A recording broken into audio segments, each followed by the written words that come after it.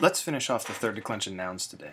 Uh, we're going to look at stems that end in diphthongs, and those diphthongs are going to be epsilon upsilon, alpha upsilon, or omicron upsilon, and a few irregulars, although uh, I will admit that these irregulars aren't all that irregular, uh, they just sort of uh, appear that way. So let's, uh, let's, without any further ado, let's move on. We're going to look first at uh, stems in epsilon upsilon, or nominatives in eus. And the reason I make this distinction is that you actually don't see the epsilon upsilon in very many cases. Uh, more often we see it, uh, we just see the epsilon. So, ho basileus, then this means king. Uh, tu basileos, here notice we've got that quantitative metathesis, just like we did in polis. Uh, tu basileos to basilei. Right, so we've got a contraction there. Ton basilea. Right, again, uh, our, our endings that we've been expecting. And then the vocative o basileu. So here's where we see the stem, right, in our vocative. This is just the stem. That's how we know this stem is actually aus and not just an epsilon with something weird happening in the nominative. Uh, so basileus, basileos, basilei, basilea, basileu. Uh, and all nouns that end in eus are going to decline like this.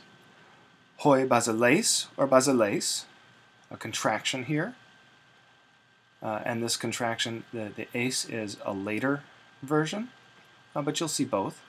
Ton basileon, tois basileusin, there's our stem with sin. Okay, so we see the stem in the vocative and the dative plural. Tus basileas, and then O basileis, basileis are vocative the same as the nominative. So places to, uh, to note, uh, when you see this eus, we're going to see it in the nominative, singular, the vocative singular, and the dative plural. All other situations, we're going to see the epsilon stem. We're going to get our quantitative metathesis here. Uh, but otherwise, we're just going to see the stem, and we're going to get a contraction in the nominative plural, but not in the accusative plural. Right, those are a lot of things to keep in, in mind. Uh, you're probably best off just memorizing this paradigm of Basileus.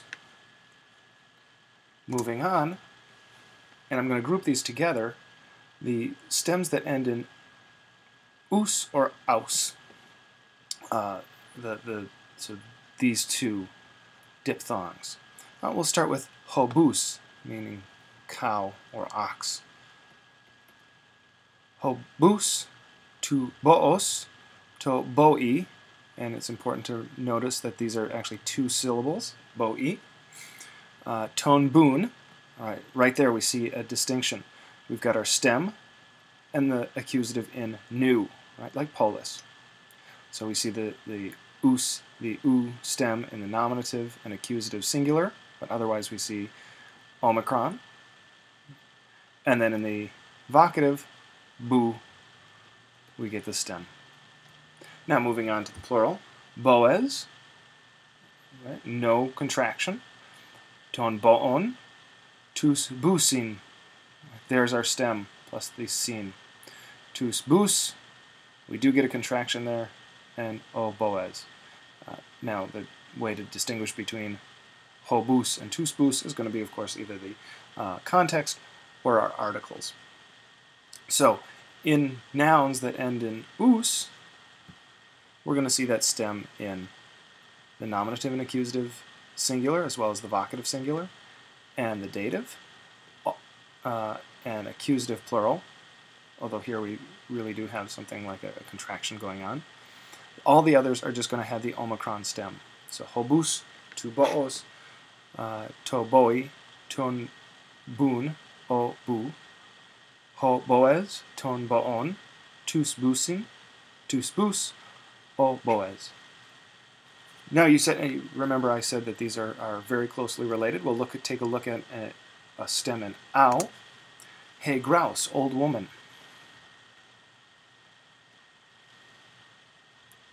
Hey graus, tes graos. So the difference here between boos and graus, I've, I've put bus over here on the left for you to, to compare, is that instead of the omicron showing up in the stem, we're going to have the alpha.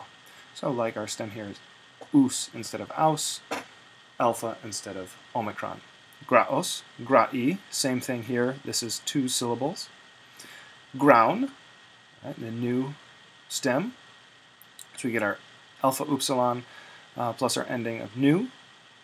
And o grau, there's our stem. So in the singular, you'll see that bus and graus actually decline identically. The difference is going to be whether it's an omicron or an alpha. So we have our stem plus sigma, stem plus sigma.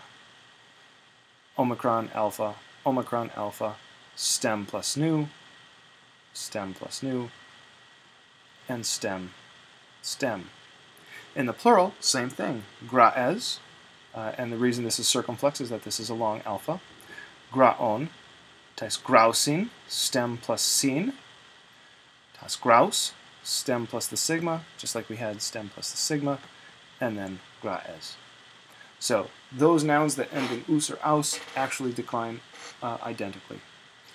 Now there is one weird exception to nouns like graus, and that's the noun naus. And naus, ship, its stem is going to bounce around a bit. Uh, we're going to see a, the stem look like alpha upsilon. It's going to look like an epsilon and it's going to look like an eta. So let's take a look at this and just memorize naus. Uh, it's, it's worth memorizing. Ships are, play a major role in Greek culture, uh, in Greek literature. You're going to see them everywhere. So, he naus, tes neos. Right, we get our quantitative metathesis. Uh, so this is like polis, with our stem and epsilon, os.